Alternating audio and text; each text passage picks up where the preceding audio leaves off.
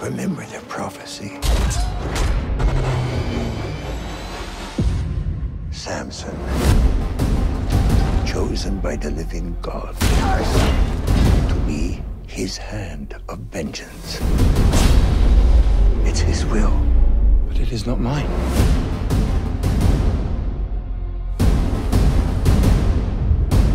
Who is this god who gives you such strength? Three vows were bestowed upon me no wine, no touching the dead, no cutting of my hair. There are whispers of a Hebrew with great strength. It is a story for slaves, nothing more. I want you to investigate this. No, please. You find me the secret of his power. My Delilah. Well, if you wanted to fight, I him dead.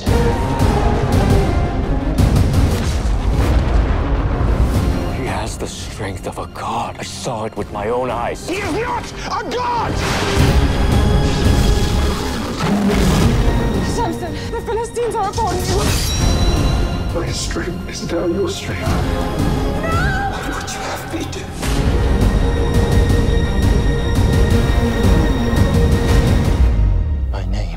Samson, and you will face the wrath of God.